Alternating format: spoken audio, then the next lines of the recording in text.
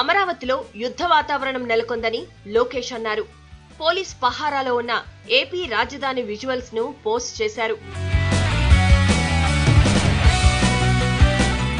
ఎన్ని చేసినా వైసీపీ తీరు కుక్కతోక వంకరగానే ఉందని ట్విట్టర్లో మండిపడ్డారు లోకేష్. టీడీపీ హయాంలో అమరావతిలో కట్టిన కట్టడాలకు సంబంధించిన వీడియోను తన ట్విట్టర్ ఖాతాలో పోస్ట్ చేశారు.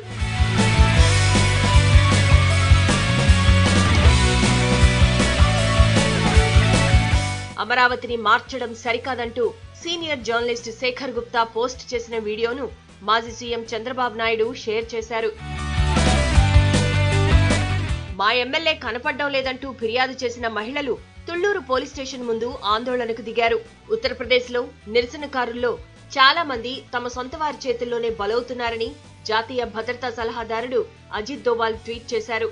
నిరసనకారుల్లో ఒకరు తుపాకీ చూపిస్తున్న ఫోటోను షేర్ చేశారు. నాలుగు నెలల కిందట జమ్మూలో విధించిన నిరవధిక కర్ఫ్యూ కారణంగా అప్పట్లో చాలా మందిని అరెస్ట్ చేస్తే ఇప్పుడు కేవలం ముప్పై రెండు మాత్రమే ప్రివెంటివ్ డిటెక్షన్ యాక్ట్ ద్వారా నిర్బంధంలో ఉన్నారని రామ్ మాధవ్ తెలిపారు. ఛత్తీస్గఢ్లో జరిగిన రాష్ట్రీయ ఆదివాసీ నృత్య మహోత్సవంలో కాంగ్రెస్ యువ నాయకుడు రాహుల్ గాంధీ పాల్గొన్నారు. ఆదివాసీలతో కలిసి డాన్స్ చేశారు.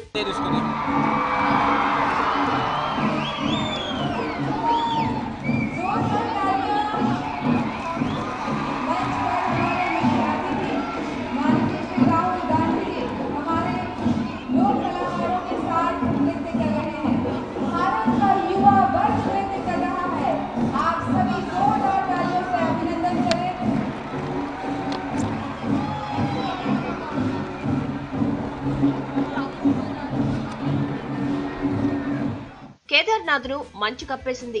తాజా ఫోటోలు నెట్టింట్లో వైరల్ అవుతున్నాయి.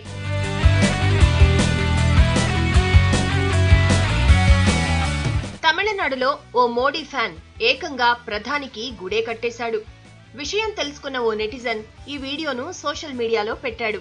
లక్నోలోని నైట్ షెల్టర్లను యూపీ సీఎం యోగి ఆదిత్యనాథ్ ఆకస్మికంగా తనిఖీ చేశారు.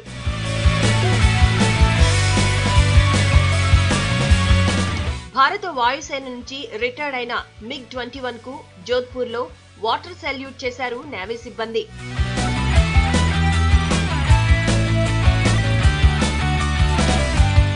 ఈ రోజు బాలీవుడ్ స్టార్ సల్మాన్ ఖాన్ పుట్టినరోజు కావడంతో చాలా మంది సినీ రాజకీయ ప్రముఖులు ఆయనకు ట్విట్టర్లో విష్ చేశారు. రాజ్యసభ ఎంపీ సీఎం రమేష్ కూడా కండల వీరుణ్ణి విష్ చేశారు. మరోవైపు దేశవ్యాప్తంగా అభిమానులు బర్త్డే సెలబ్రేషన్స్ గ్రాండ్గా నిర్వహించారు. రేడియో సిటీలో పాల్గొన్న సల్మాన్ అక్కడే తనను విష్ చేసేందుకు వచ్చిన చిన్నారులతో కాసేపు సరదాగా గడిపారు.